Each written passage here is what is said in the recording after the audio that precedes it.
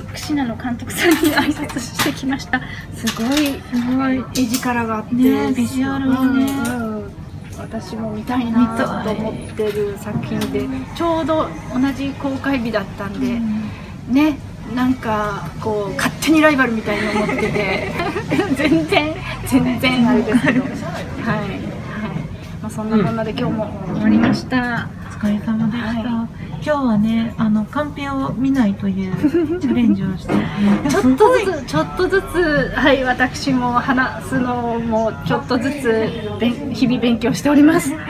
でもあのすごい良かったですよ、あれですよでもほらもうすごい知ってる中の人ですから、もう普段喋ってるし、うん。多分こう言うだろうなっていうのももうなんか気持ちが分かってる相手なので、うん。そういう意味ではね全然段取りとかしなくて済むし、まあ、今日中島て子さんっていう料理研究家でいらっしゃってブラウンズフィールドっていう千葉県にあるこうなんかとにかく古民家を改修してみんなが集ってみんなが生活する半自給自足自自主え？半自給自足の自給自足？自給自足？の場があるんですよ。うん。まあ、そこに私もしょっちゅう通ってと気持ちのいい場所なんで通ってるし、まあ、中島レゴさんはいろんなところでトークもなさっててプロでいらっしゃるのでもう私は乗っかるだけだったので今日はとても楽に できました。はい。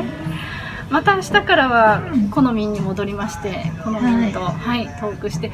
でも3連チャンでやるんですよね私と好みで。なのでちょっと毎日違うお題を作ってやろうかなと思うので3日間来ても3回違うトークがでしますんで。はい。ぜひ。じゃあ明日のテーマ決めましょう今。決めましょう。えーっとね1個は1個考えてたのは、うん。作ること？ほら好みもいろいろ作るじゃないですはいはいはいかはい。シー作ったり、ね。アクセサリー作ったり、そういう作るなんかあのなんかクリエイター？なんて読むんだっけ？クリエイター？クリエイター、うん。じゃなくてアーティストだ、アーティスト。なんかそういう風なので、うん。そういうのはどういう風に作ってるのかな？っていうのを聞きたいかなと思って、うんいかがでしょう、いいと思いうん。ま、あとは？す、えーっと、まあ、せっかくだからやっぱり、ですよね。空白の2年間3年間4年間、うん。なんかでも意外にな何あんま出てこないんだよね。あれだそあそれだけ終わり？みたいな。いつもいやだからみんなから空白って言われるけどうん。全部使えるとか映画で実は使ってるんです。あれ以上のことはあんまりあ何もしなかった。ないんですよね。まあもしくはえっと隊長に登壇してもらってちょっと2人で突っ込む。うんうんこうなのああなのって突っ込んで今まで出なかった話を引き出すっていうのもありますけどね。やってみますか。やってみますか、うん。あと恋愛についてとかね意外と。あそれね。それね。あのドキュメンタリーで私もう皆さんに惹かれるほど失礼な質問をいっぱいしてるんですけど、うん恋愛についてだけは聞けてないんですよ、うん私自体があんまり恋愛得意じゃなくて。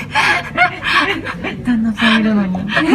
いるんですけど、うん、あのなので突っ込めてないところはそこでやってみるか一日ね。一日うん。うん。うん。まあそうね。はいはい。こんなはいこんな長いとあれですからはい、はい。ということでまた明日よ毎日違うお題トークします、よろしくお願いしまろしくお願いします。ということでお疲れ様でございました、はい。はい。はい。終わります福祉なやってるよ。す串田の宣伝会